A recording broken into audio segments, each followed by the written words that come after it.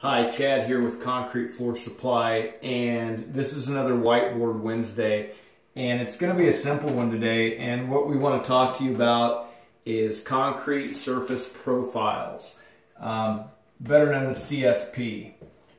Now, I don't want to get into the exact details of that because there's some different criteria for uh, uh, surface profiles and concrete surface profiles outlined by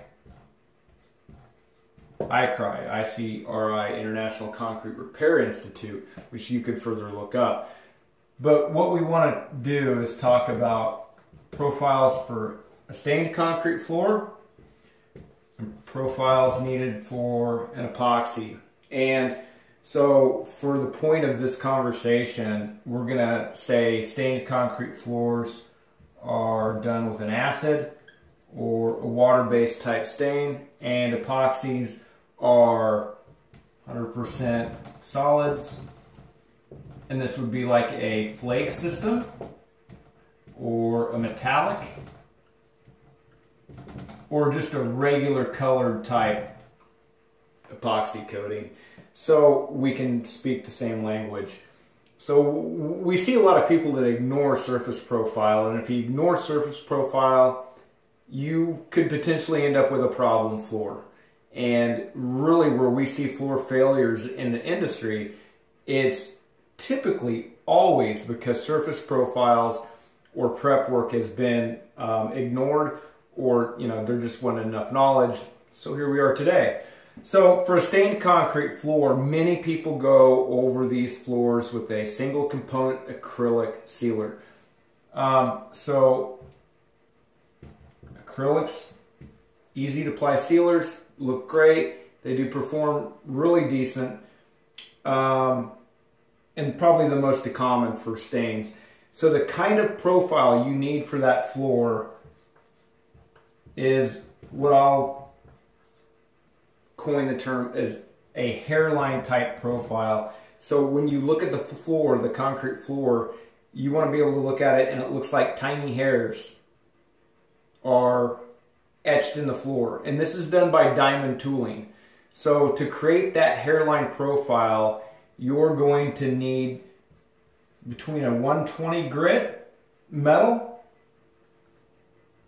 to, mm, let's say a 50 grit resin in that type of profile. So those create the scratch pattern you need for your acrylic to be able to adhere very well, but also, more importantly, after you apply that acrylic, you don't see the scratch. Too big of a scratch, you'll apply the clear coat and you'll still see the scratch underneath the clear coat and it's just an undesirable look, although it'll still perform. So to get that, um, we have a Tornado satellite pad, very easy to use underneath a buffer, um, have them in 30 and 50 grit, great, easy to use tool. We also have various metal bond tools from various grinders that can create that 120 grit scratch. So remember, stained concrete floor, hairline type profile. Now, epoxies, um, they're typically two coat type systems, uh, a little bit more mil thickness than an acrylic, quite a bit more actually. Um, and so you want more of a profile for that floor because they're just a beefier, thicker floor. So we'll call this, I've always called it a fork, like a fork-like profile. So when you look at it, it looks like somebody took a dinner fork and kind of gouged the floor. Um, and now how deep is this? Uh, you can feel it with your fingernail, so it's not like as deep as broom finished. Um, but but it can be, and that and that would be fine. But just kind of more like a fork or a bigger, girthier scratch in the floor. And to to get this profile, um, you would use a 30 grit metal bond tool.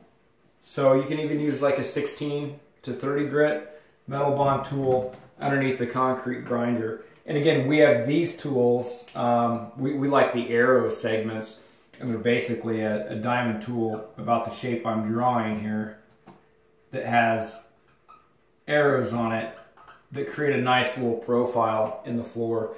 So this is the whiteboard Wednesday for this Wednesday, and I think it's very important for people to realize that that, that prep and longevity go hand in hand, and we see it ignored, and it, it always comes back back to prep and cleaning. Um, the other part, to be honest with you, is pretty much easy. Um, so stain floors, you need a hairline type profile. Epoxy floors, you need a fork-like profile in the floor. Thanks. That's Chad for another Whiteboard Wednesday.